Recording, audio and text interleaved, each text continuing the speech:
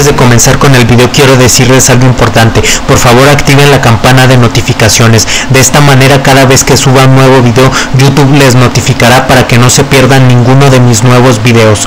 Yo quiero recomendarles mis dos canales secundarios, Conspiraciones Universales y Llamar Casos de la Vida Brutal. En Conspiraciones Universales vamos a encontrar videos con una temática parecida al canal principal de Paralogía, es decir, videos de misterio, de conspiración, de terror, de cosas paranormales. Y en Llamar Casos de la Vida Brutal vamos a encontrar videos de terror y comedia o incluso pueden ser las aventuras del brujo Llamar. Les recomiendo estos dos canales ampliamente porque son muy buenos. El link va a estar en la descripción descripción de este video y también en un comentario fijado. Por último quiero pedirles que por favor se unan al canal. Si ustedes se unen al canal van a poder elegir los temas de los cuales quieren que traten mis siguientes videos. Además todos sus comentarios serán respondidos obligatoriamente. por si fuera poco antes de comenzar con el video aparecerá su nombre y se les hará una mención especial. Te recomiendo que te unas al canal. Te puedes unir por tan solo 3 dólares y de esta manera me puedes seguir ayudando a seguir creando contenido para todos ustedes. Muchas gracias y ahora sí comenzamos con el video.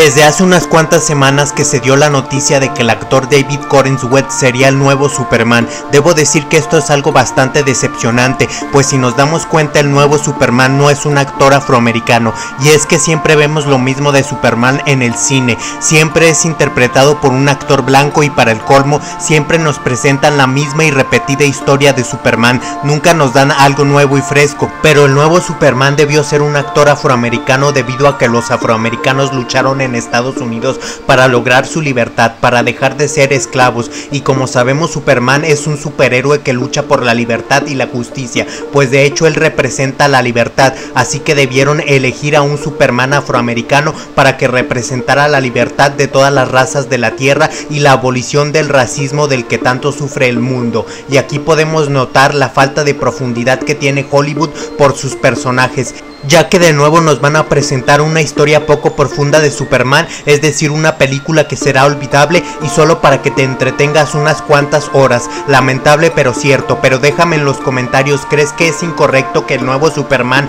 no sea afroamericano? Déjame tu opinión en la caja de comentarios y si crees que esta película será una porquería.